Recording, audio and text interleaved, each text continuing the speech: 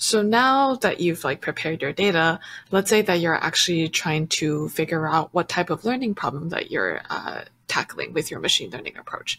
Um, so some common types of learning problems include classification and regression. Can you tell me a little bit about the differences between those?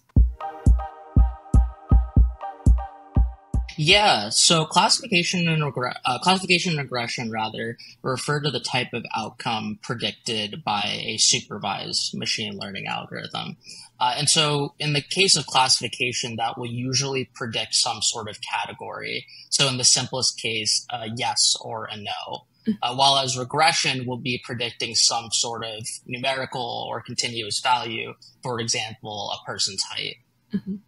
Okay. Uh, can you foresee instances where uh, a problem could be both classification or regression? And if so, why might you choose one or the other?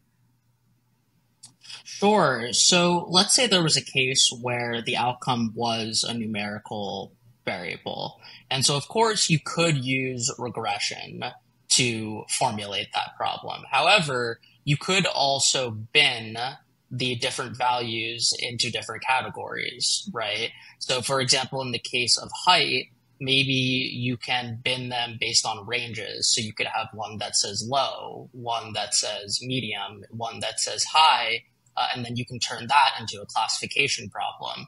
Uh, and I think the general reasoning is making uh, it easier for the algorithm to distinguish and learn based on the actual patterns underlying in the data uh, sometimes, uh, for example, in the case of the height, uh, the scale is kind of all over the place. Um, you know, there's kind of a, a, bigger space that you have to be able to predict. Um, and so getting the underlying pattern of whether it's in the medium range or the higher range might be something that's easier for the algorithm to learn. And it can also be something that is perhaps more useful for the algorithm to learn. Um, so I think it just depends on the use case that you have and and what makes most sense for uh, you know your particular problem.